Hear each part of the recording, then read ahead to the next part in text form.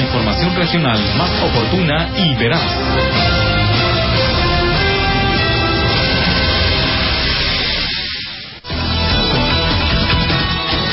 Buenas tardes, tengan todos ustedes bienvenidos a este programa de Unir Noticias esta tarde de martes, martes 23 de agosto del año en curso, dándoles a conocer las notas y la información general que tenemos de Autlán y la región.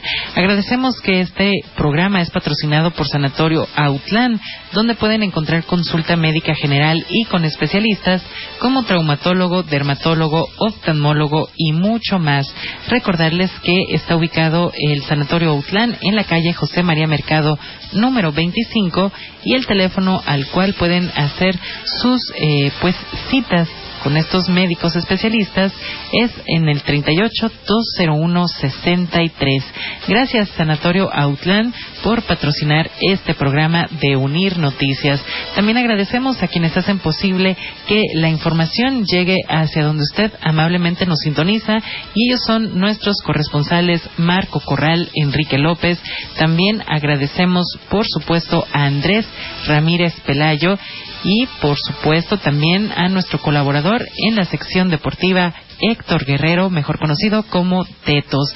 Así iniciamos en esta semana 34, donde estamos en el día 236 del año y nos faltan por transcurrir 170, 130 perdón, días para que termine ya, culmine este 2016. Les platico que la temperatura máxima para el día de hoy son 27 grados centígrados, mínima 18, con cielos parcialmente despejados y posibilidades de lluvias también hoy por la tarde-noche para que usted tome sus precauciones. Ante este micrófono les saluda con mucho agrado Jessica Macías Abalza, esperando que estén teniendo un excelente día e invitándoles para que escuchen la información que tenemos a continuación. Es la una ya con seis minutos y así iniciamos nuestras notas generales el día de hoy. En nuestra primera nota informativa tenemos que llaman a la mujer indígena a la lucha por su reconocimiento. Esta nota nos la proporciona Marco Corral. Adelante Marco, escuchamos la información. Llaman a la mujer indígena a la lucha por su reconocimiento, a un autorreconocimiento y a la búsqueda del reconocimiento de las autoridades, llaman a las mujeres indígenas de la región. Rogelia Justo Elías, consejera nacional de las comunidades y pueblos indígenas, es originaria de la comunidad indígena de Ayotitlán, en la sierra de Malantlán, y es quien hace el llamado. A unir noticias dijo. Yo estoy muy orgullosa de ser indígena agua de Ayotitlán, municipio de Ayotitlán, Jalisco, y que las invito a, todas mis hermanas que debemos de, ver nosotros mismos en el sentido de, primero, pues autorreconocernos que somos indígenas. Ese es un principio muy importante en el cual, pues, si no nos reconocemos, nadie nos va a reconocer. Y en segundo, pues, coordinar esfuerzos con, con los funcionarios de primero, segundo, tercer nivel ir buscando esos espacios que son nuestros. Señaló que aun cuando las comunidades indígenas son reconocidas en la ley, se requiere del trabajo para que las autoridades lleven a la realidad ese reconocimiento. Yo como ciudadana he estado trabajando y no busco puestos políticos ni me interesan, pero sí busco que esos amigos o esos funcionarios que llegan a un puesto o cumplan con su obligación que tienen de aceptar lo que tienen y sobre todo compartir lo que tienen a las comunidades indígenas. Informo para Unir Noticias, Marco Corral.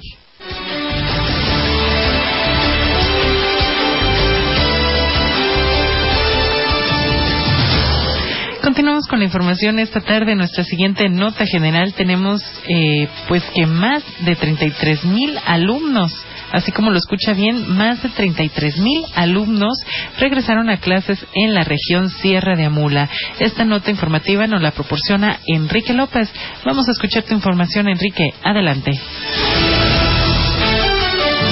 Incidentes y con la totalidad de las escuelas abiertas a tiempo, iniciaron las clases en el municipio de Autlán y en la región Sierra de Amula.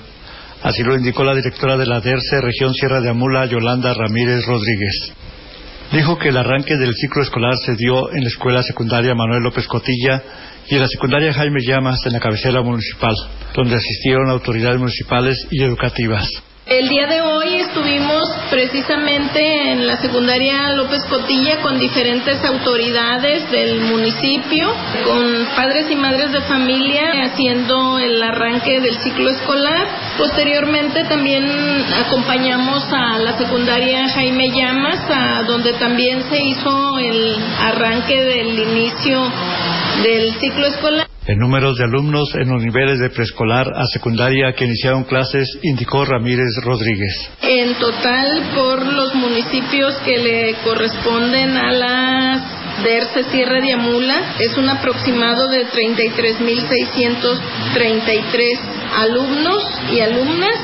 En general, por grupos dijo que se encuentran de la siguiente manera. De preescolar eh, se tiene un estimado de 7.330, de primarias 17.750 y de secundarias 8.553. Finalmente añadió que en algunos municipios el ciclo escolar corresponderá de acuerdo a las actividades de 200 días de clases y en otros de 185 días.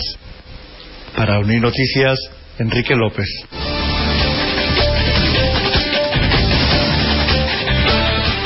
Seguimos con la información. Esta tarde es la una once, una con once minutos y en nuestra siguiente nota informativa tenemos que reparten las mochilas con los útiles con el nuevo ciclo escolar. Esta nota es de Marco Corral y recordamos que él nos ha venido entregando en diferentes eh, momentos de estas semanas a través de Unir Noticias esta información y ha estado dándole seguimiento precisamente a las mochilas con los útiles escolares. Es por ello que los invito a escuchar esta siguiente nota donde, bueno, pues ya nos indica Marco Corral que pues por fin reparten estas mochilas con útiles escolares en el nuevo ciclo escolar. Adelante Marco, escuchamos la información. Reparten las mochilas con los útiles con el nuevo ciclo escolar. Con el inicio del ciclo escolar 2016-2017, en los municipios de la costa sur se continuó con la entrega de los paquetes de las mochilas con útiles entrega que se inició antes de la clausura del anterior ciclo escolar. El gobierno del estado aportó el 50% del costo total de los paquetes y el gobierno de cada municipio el otro 50%. En el municipio Cautitlán de García Barragán, el gobierno municipal aportó 504.824 pesos y 20 centavos, correspondiente al 50% del costo de los 4.934 paquetes de mochilas con los útiles para igual número de estudiantes de escuelas públicas de nivel básico. En el municipio de Ciguatlán, este lunes se inició la segunda entrega de los paquetes escolares, que serán 3.864 en la parte correspondiente al gobierno municipal. Pero además, el gobierno ciudadano inició con la entrega de los uniformes escolares para todos los alumnos del sistema público de educación básica, con recursos municipales en su totalidad. Por primera vez se entregan uniformes 8.829 en total. Informó para Unir Noticias Marco Corral. Seguimos con la información esta tarde en nuestra siguiente nota y continuando con esta información que ya escuchábamos de las mochilas con útiles. Bueno, pues ahora nuestro compañero Enrique López nos indica en esta siguiente nota que reinician la entrega de mochilas en escuelas aquí también en Outland. Vamos a escuchar esta nota con Enrique López. Adelante.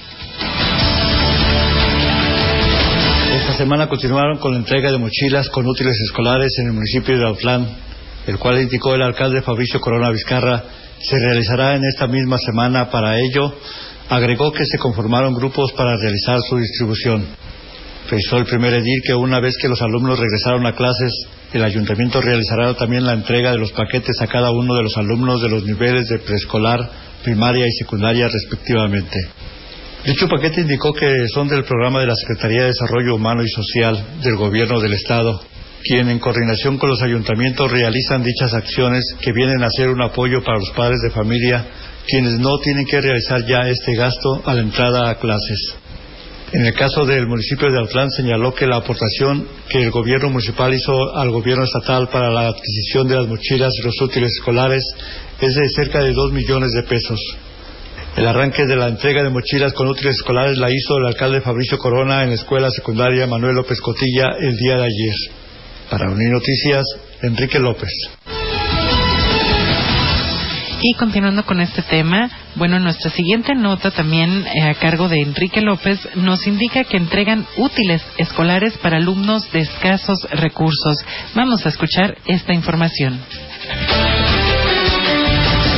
El día de ayer en la escuela José María Morelos de la comunidad de Corcovado, la Secretaría de Educación Jalisco junto con personal del Instituto Nacional de Educación para los Adultos entregaron apoyos en útiles escolares a alumnos de preescolar, primaria y secundaria de la región Sierra de Amula.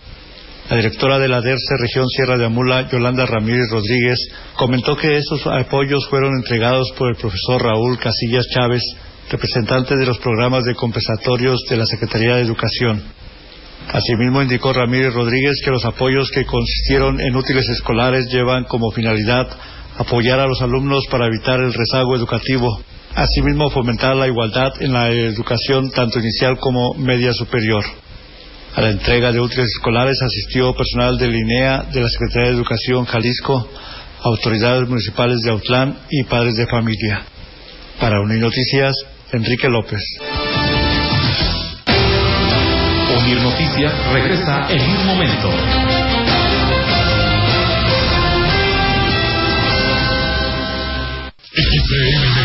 Alcance de sus oídos. Horizontes de prosperidad sin límites. Esta es, esta es XCLD Radio Costa. 780 kilociclos. Autlán de la Grana, Jalisco. Teléfonos 204-64 con fax 215-40. XELD. Radio Costa. Inconfundible.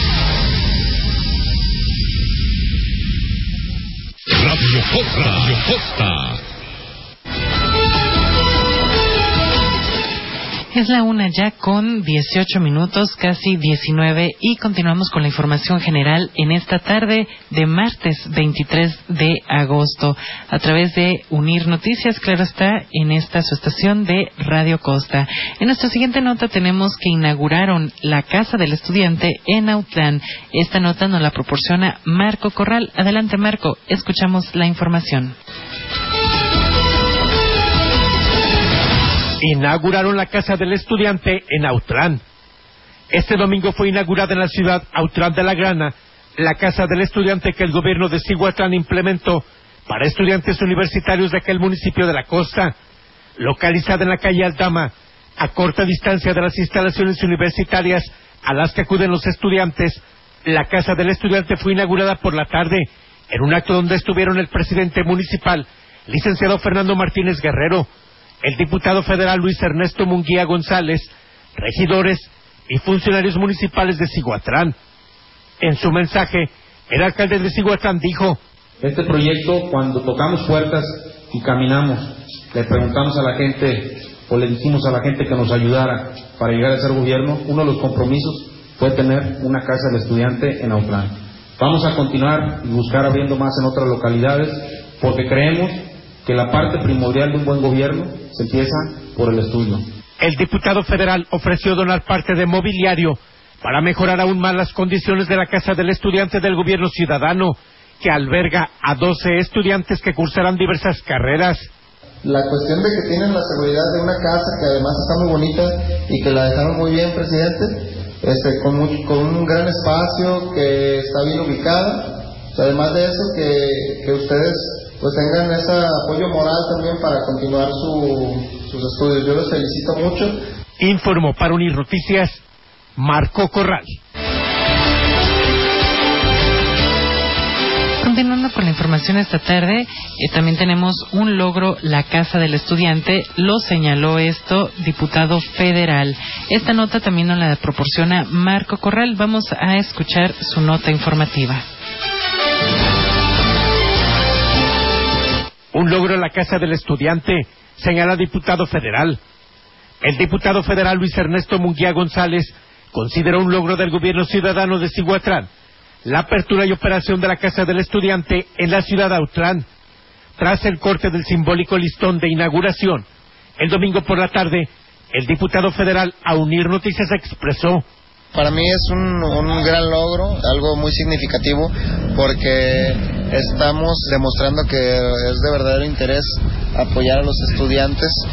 Yo felicito al presidente Fernando Martínez Guerrero porque fue uno de sus compromisos de campaña y bueno, vamos a apoyarlo. De por mi parte estaré colaborando con algunas cuestiones de mobiliario en beneficio a, la- a los muchachos que son de Cihuatlán, de las diferentes comunidades de Cihuatlán, pero que hoy radican aquí en Autlán pues, debido a que quieren seguir con sus estudios.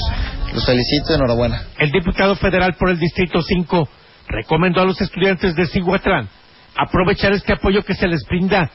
Informó para Unir Noticias Marco Corral.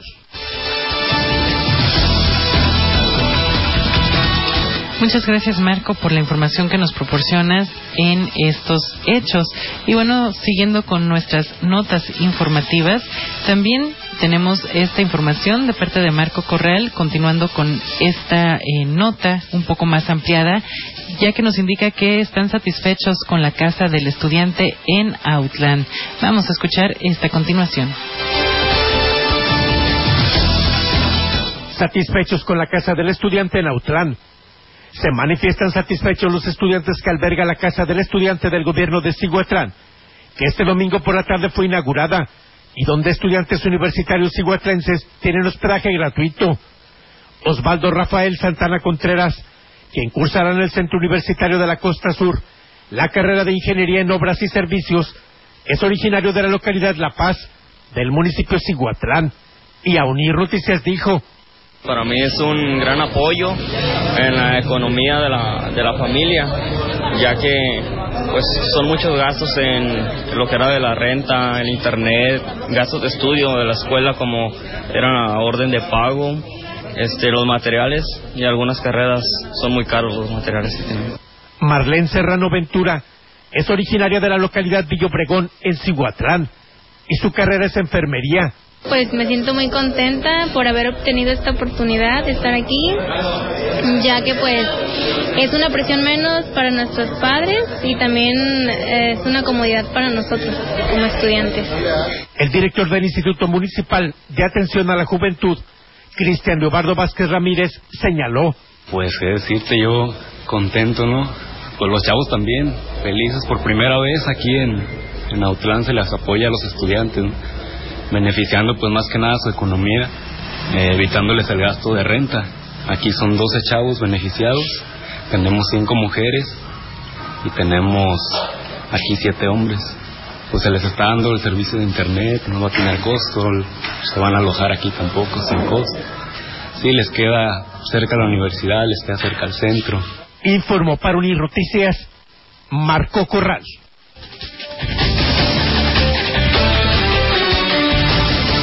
Sin duda un gran apoyo para la economía familiar de estos 12 jóvenes beneficiados, esperando precisamente que pues aprovechen esta oportunidad, este apoyo, cuiden las instalaciones de esta casa del estudiante y bueno pues también los eh, próximos estudiantes visualicen esta oportunidad para venir a estudiar aquí en Outland y pues tener el apoyo de su gobierno.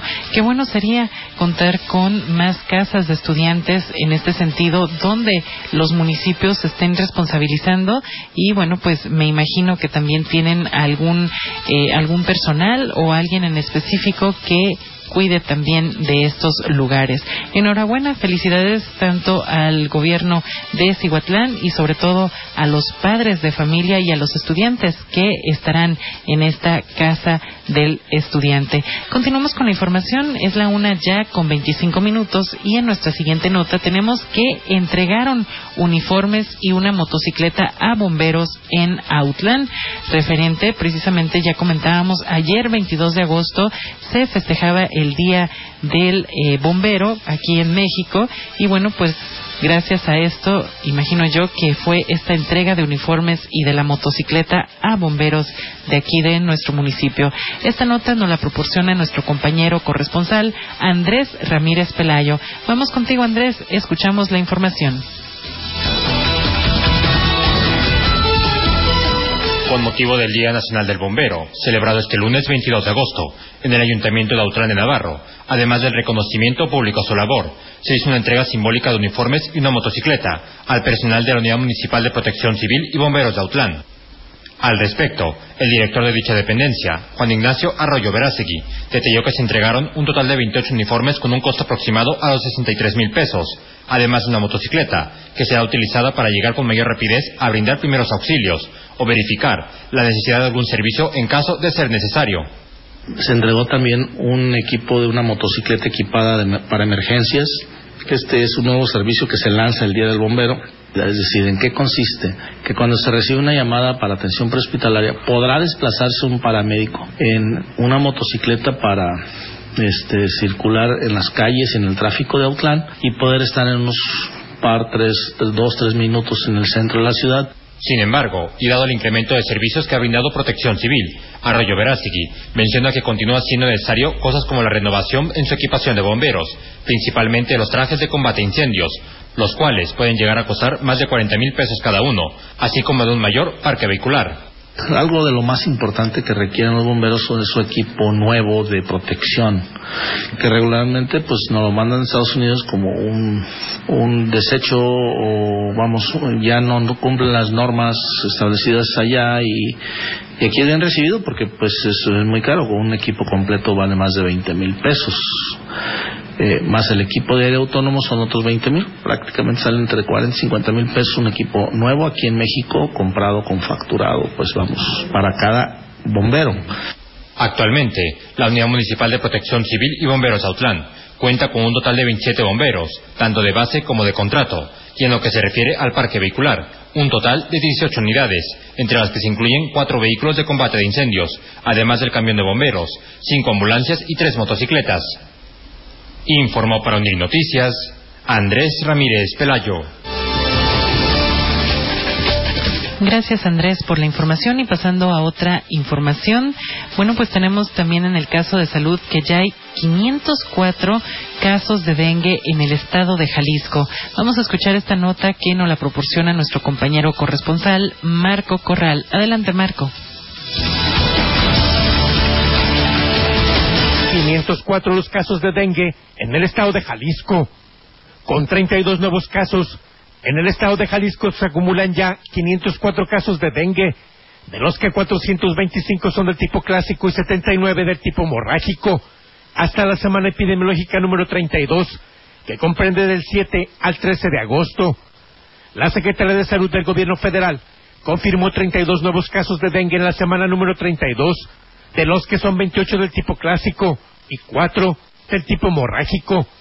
De los 504 casos acumulados, 283 corresponden a pacientes femeninos y el resto, 221, a pacientes masculinos.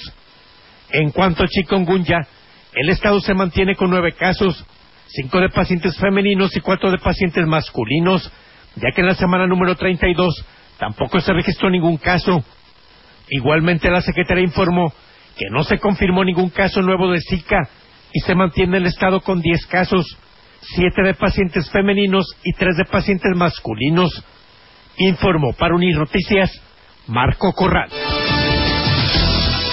Continuando con la información, tenemos fuertes las erogaciones para el mantenimiento de caminos en Cuautitlán de García Barragán. Esta nota también corresponde a nuestro compañero Marco Corral. Adelante, Marco fuertes las erogaciones para el mantenimiento de caminos en Cuautitlán de García Barragán. Uno de los gastos más fuertes para el gobierno de Cuautitlán de García Barragán es el de los trabajos para rehabilitar los caminos, señala el presidente municipal, licenciado José de Jesús Flores Santana. Efectivamente, Marco, el tema de la maquinaria junto con las rehabilitaciones, pues al mismo tiempo va aparejado de un desgaste económico que el municipio pues le está asumiendo y lo está asumiendo de manera responsable, en donde tratamos de atender las zonas más difíciles y en donde vamos sacando algunos de los compromisos que tienen las localidades en apertura de nuevas brechas que les permitan llegar hasta la localidad. Dijo que en ocasiones es muy difícil el acceso a alguna localidad, además de que las lluvias afectan en ocasiones los caminos que apenas fueron rehabilitados. Uno de los principales temas fue empezar a arreglar la maquinaria, dejarla más o menos en condiciones para poder trabajar y poder estar en actitud de darle servicio, ese servicio a la gente como lo necesita. Yo espero que en estos días nos pueda llegar alguna máquina, algún volteo ya de la Secretaría de Desarrollo Rural del Estado para poder hacer cuerpo y poder sacar más adelante estos temas. Y es que refirió, no solo se requiere de la rehabilitación de caminos a las localidades, sino también la reparación de bordos, la rehabilitación de los caminos a cosechas y hasta la apertura de nuevas brechas. Informó para Unir Noticias Marco Corral. Unir Noticias regresa en un momento.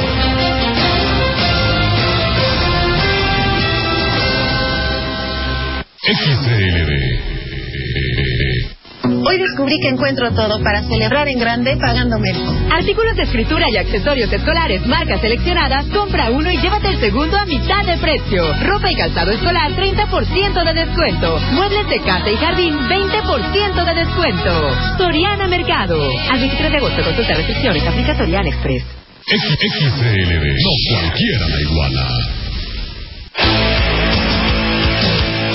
La emoción, la alegría, las proezas están en la información deportiva.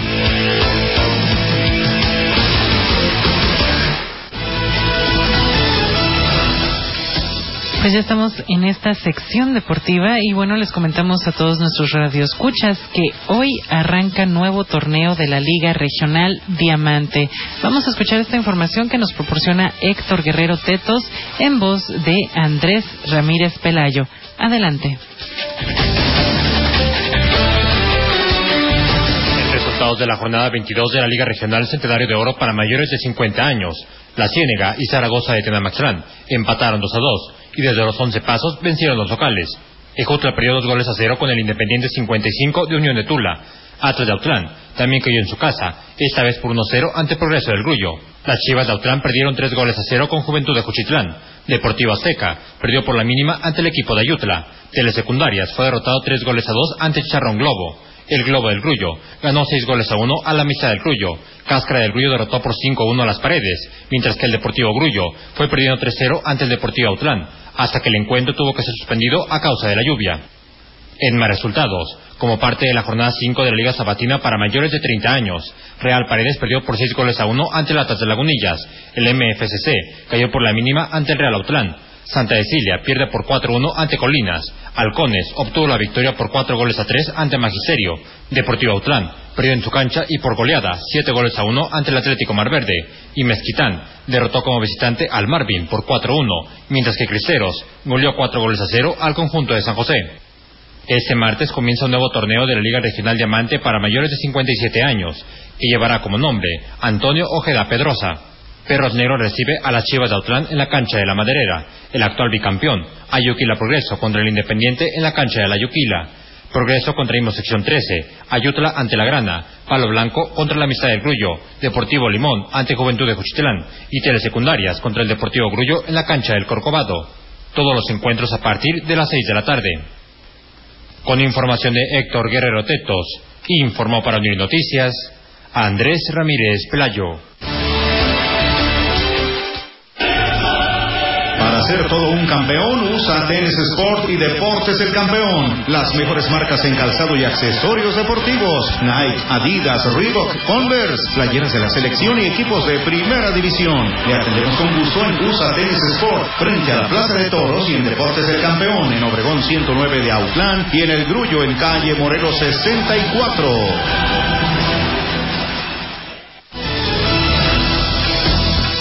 Muy bien, ya es la una con 36 minutos y bueno, pues ha llegado el momento de despedir este su programa de Unir Noticias esta tarde de martes, martes 23 de agosto del año en curso, agradeciendo por supuesto que este programa fue patrocinado por Sanatorio Outland, donde pueden encontrar consulta médica en general y con especialistas como traumatólogo, licenciado en nutrición, oftalmólogos, dermatólogos y licenciados en psicología.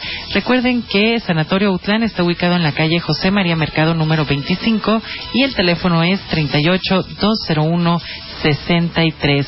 Gracias a nuestros corresponsales el día de hoy, quienes hicieron posible que llegara la información hacia sus hogares o lugares de trabajo o incluso vehículos donde amablemente nos sintonizan. Ellos son Marco Corral, Enrique López. También agradecemos, por supuesto, a Andrés Ramírez Pelayo y a nuestro informante en la sección deportiva, Héctor Guerrero Tetos. Ante este micrófono se despide Jessica Macías Abalza, esperando que tengan una excelente tarde y continúen con nosotros aquí en Radio Costa. Recuerden que en unos minutitos más tenemos un programa de eh, familia y salud para que no se lo pierdan. Pues seguimos con ustedes en esta sintonía a través del 103.9 en frecuencia modulada, 780 amplitud modulada y en www.radiocosta.com.mx. Está usted ya bien informado. Está usted bien informado. No te pierdas la próxima edición de Oír Noticias, de lunes a viernes a la una de la tarde. XCLD, más que buena, que buena.